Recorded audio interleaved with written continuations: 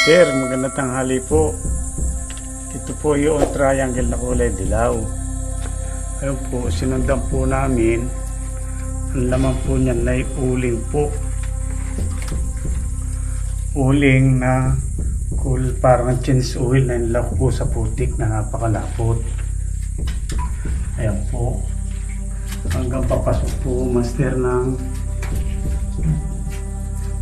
bato. Po ang sinundan namin ng ukay. Pasok po doon, master. Hmm, nandito po yan.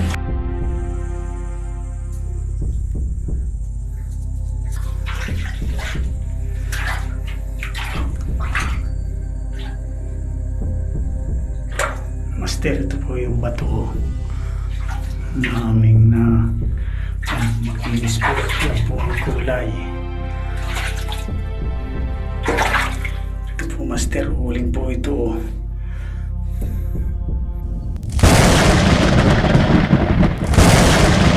Halina't samahan niyo na ako mga madam at mga sir sa pag-review dito sa isang area ng kasamahan natin kung saan pinamagatan kong Oling Drip Tunnel 12 feet under assessment 312 at ang area ni sir napanood naman natin sa naunang video.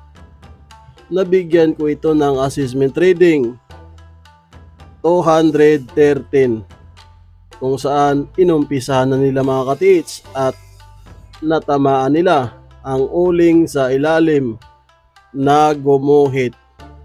Pero ngayon, i-review natin ang area ni Sir kung ano ba ang dapat gagawin dito dahil inabutan na sila ng tubig sa ilalim. At mapapansin natin sa video niya, dito ako nagbase mga katits. Ayan yung batong yan. Na ang pagkasabi ko sa pinaka parang part 1 na rin na may target sa ilalim na yan maghanap ka lang ng ibang sign na susuporta sa batong ito. Dahil para siyang taong nakahiga at sinuportahan pala siya sa batong ito. Sa gilid pala ito nakapwisto sir kung saan doon sa or doon sa katabi nito yung parang batong nakahiga na ang pagkasabi ko nito 1 meter under or 1 meter side magtisdig sila. Malapit lang pala iisang area lang. At yun na nga mga katits hindi ko rin napansin na may butas ba ang or may butas pala. Dito pala siya nakapwisto sa parting ito. Ayan ang letter C parang ganyan no naka-engrave sa bato at may guhit dito. Katabi lang niya ang batong ito. Dito banda pala siya nakapwisto sir. Sa area na yan. Ngayon, may butas pala ang gilid. Kung saan yun din ang sinundan nila ni sir. Napakagandang area sana ito mga katits. Ayan o, yung biyak na yan. Karugtong yan eh, papunta sa ilalim. Ito ba yan? Ah, oo nga. Papunta yan sa ilalim. Yan ang sinundan nila sir. At ayun o, nag-drip na sila dyan. At may napansin silang uling na gumuhit. Sa bandang taas pa ito eh, nung nag-umpisa sila. Ang batong malaki, ayun to, ito mga katiits. Yan, yung butas na sinabi ko. Sa bandang baba. Sinundan nila yan eh. Bali, sa taas nito pala, sa bandang gilid lang, malapit lang sa kanya, tabi. Yun yung ano, dito banda. Ulitin natin. Letter C na may 1. Ayan. Ganyan. At bandang sa kabila, hindi maglayo ng isang metro lang yata. Nandoon yung batong malaki na nakahiga na parang hugis tao. At yan ang sinundan nila ni Sir. Dito pa lang gumuhit ng uling oh. Napakagandang area ito eh.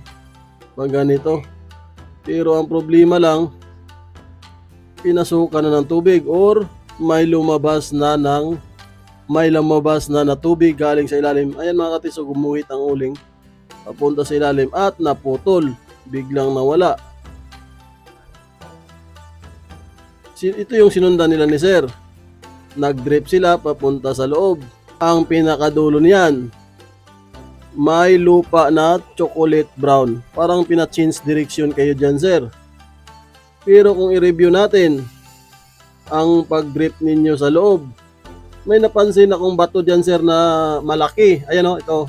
Ayan, yung drip nila papunta sa loob. Balik natin. Makat magkatabi lang ito sa batong nakahiga na parang tao dito banda. At yung letter naman dito sa taas niya. Pero sa bandang loob, papuntang loob sir, sa butas na ito, may napansin akong malaking bato dyan na naka sinterlock dito banda sa side. Kung tutuusin, babalik yung batong malaki na yan, parang nakaharang siya no? sa loob, babalik yun sa parting ito na may batong malaki na para siyang taong nakahiga.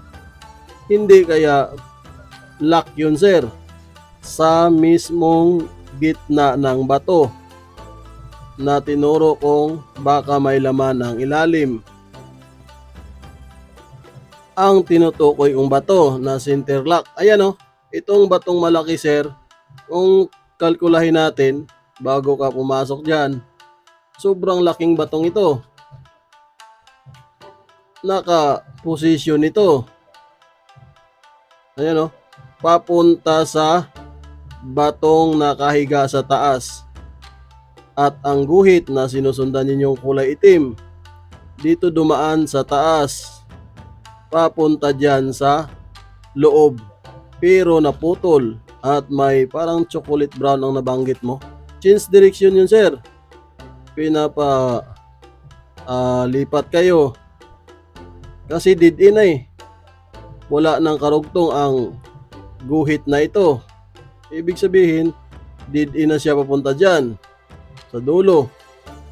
Pero kung pagbabasya natin ang batong ito di kaya sinterlock ito sir na, dinidi, na dinidipinsahan niya ang parting iyan kung saan ibalik natin dito sa picture.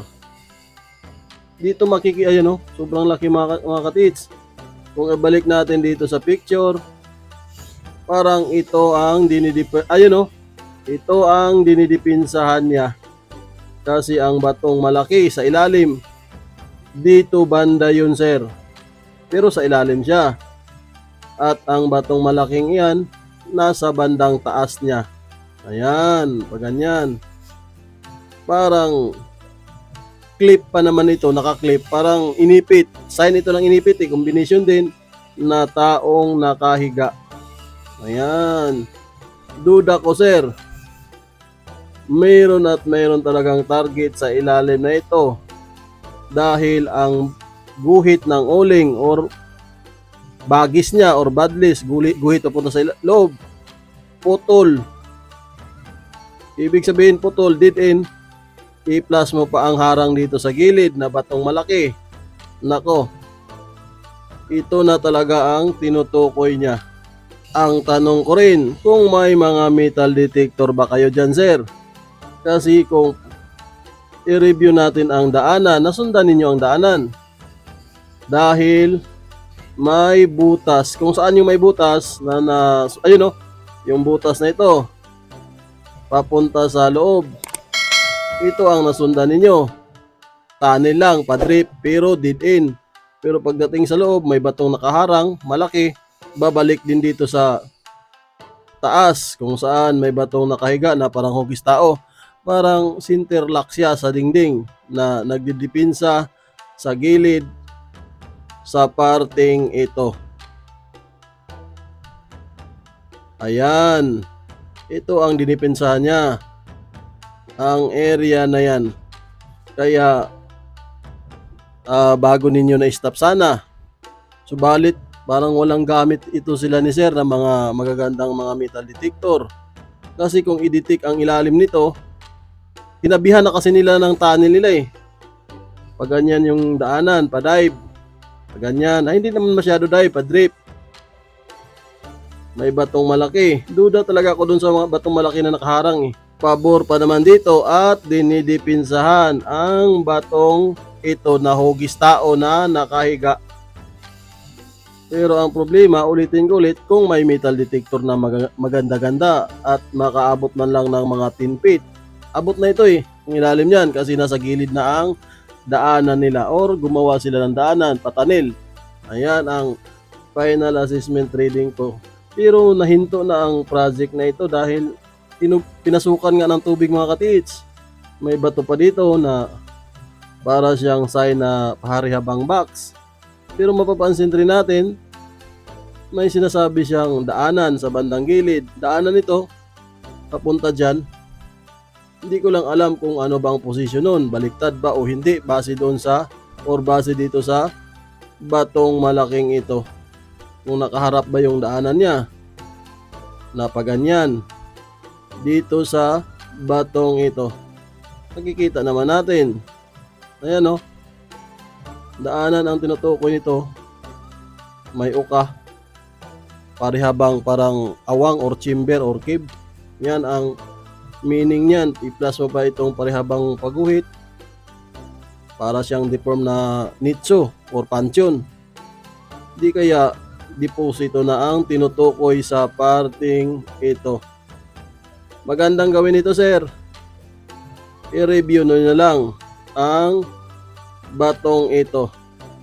Kung may mga metal detector kayo, i-detect ninyo ang batong ito. Dahil malaking posibilidad na nandyan ang target talaga. Guhit lang yung ah, uling na yun. Gumuhit lang siya papasok sa loob. Pero putol or dead end. Ibig sabihin, dinugtungan pa siya ng violet. Ay, chocolate brown.